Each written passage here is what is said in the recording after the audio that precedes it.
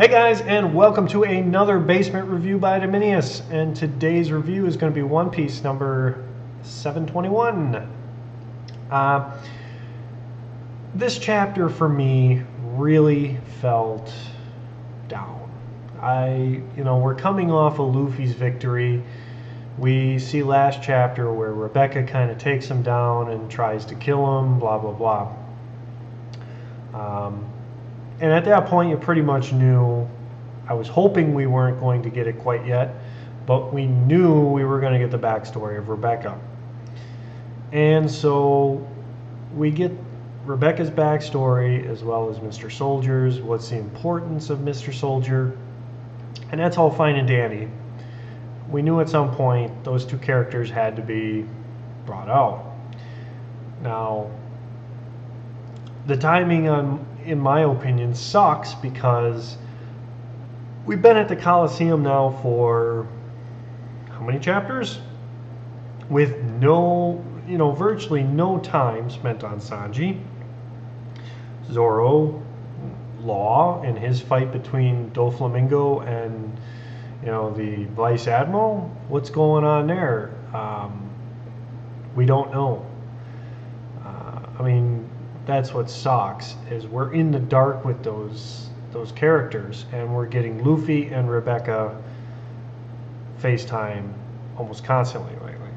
Now, it's not to say this chapter doesn't help the story.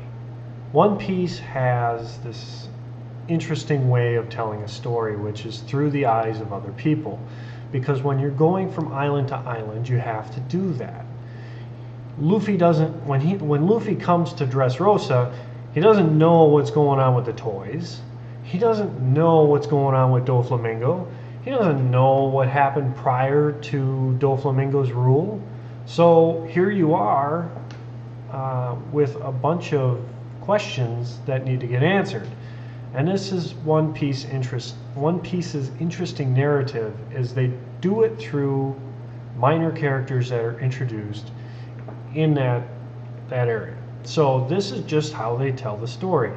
But I'll be honest, I didn't want this story yet. I wanted this to be more dramatic, and right now I don't feel that's very dramatic to basically tell Luffy, um, yeah, the toys kind of are alive and you know they act like important people probably because they are how, how could no one have figured this out yet in Dressrosa, that the toys are actually people that have been turned into toys? I mean, we see kind of an explanation a few chapters ago, or last chapter, I don't remember which, where they explain it by saying this toy has the human disease, where he thinks he's human. But has a toy never said, uh, hey, Barbara, you know, I know you're you know, favorite food is this, you know, I know you like this in your pudding or, you know, something, anything that, you know, just a loved one would know that, because it's clear that the toys seem to gravitate back to their families. Otherwise, you know, it, would be kind of, I don't know, it, it just seems to be what happens. And I think Toy Soldier is actually the old king, but that's just a hunch because she says, "Oh, he's like a father to me," or something like that. And I don't know if she's the daughter of a king, but they do call her a princess, and so that you know they basically say she's part of the former royal family. So whether or not she's a direct descendant or just somebody in line for the throne is interesting, but we get this idea that she likes Mr. Soldier because he's been protecting her for all her life. And she he even tried to protect her mother, which at the time she didn't you know, she hated Mr. Soldier for not being able to protect her mother, but she's realized that he's the one who's been there this whole time trying to protect her and make her stronger and keep her out of Doflamingo's hands. Unfortunately, as we can see, that's not what happened. She ends up in a coliseum having to fight, and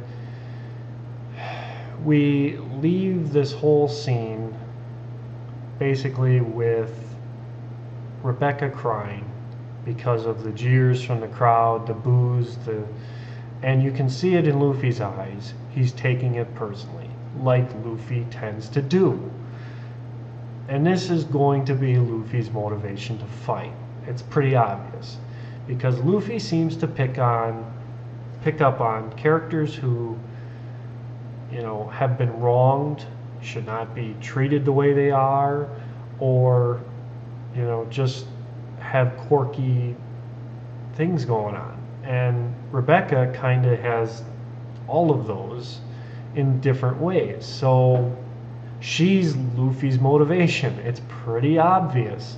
So we have Luffy's motivation to fight. The question is is he going to abandon the tournament and basically say, screw the fruit? I'm going to bust these guys out behind me who are probably not going to be able to fight too effectively? Or what is Luffy going to do at this point? That's my question. So, was the chapter interesting? Yes, the chapter was interesting because it explained another backstory of another island. That's we expect that from One Piece. We know that's going to come eventually. But was it interesting in terms of the plot moving forward? No, not really. The plot didn't move forward. We didn't see what Luffy's going to do. We just got the backstory, and now Rebecca's going to fight. She's getting booed and she's crying. So, I have to say that this chapter wasn't very good at advancing the plot. It was terrible. Uh, we got a lot of backstory, and don't get me wrong, that's important, but typically a good manga chapter will won't go into these long flashbacks where 80% of the chapter is flashback and you have 20% that's in the present with absolutely no decisions made no nothing. There was nothing in the present that was done. It was luffy. It, it, i don't even know how to explain it. It was it was Luffy understanding what's going on with Rebecca, and it was Rebecca remembering her backstory. Big whoop. No plot advancement whatsoever. That's a little disappointing. So, guys, I gotta say this was a below average uh, chapter. It's pretty. It very much is a setup chapter because we're looking, and we're we're looking for Luffy's motivation. We definitely found it, but Luffy they leave Luffy kind of on a quote unquote cliffhanger of what's he going to do? Well, duh. You know what he's going to do? He's going to somehow help Rebecca reclaim her throne because it's pretty obvious Doflamingo did something to overthrow, probably brainwash the masses, stuff like that, in order to take control of Dressrosa. So, but the backstory is important. It was focused on way too much. Anyways, guys, if you hate what I'm saying, neg me. I don't give a damn. I felt that you could have included a lot of plot, at least included Luffy's decision to fight, because we know it's coming. It's not a cliffhanger if everybody knows it's coming. So that's all I can say about this chapter, guys like I say, like, subscribe, and comment if you enjoyed it. I don't care if you neg me and say I'm the worst reviewer of all time if you hate me. So it's just, I didn't find this chapter very enjoyable. Uh, if you guys agreed or disagreed, comment below. So, all right, guys, take it easy. Bye.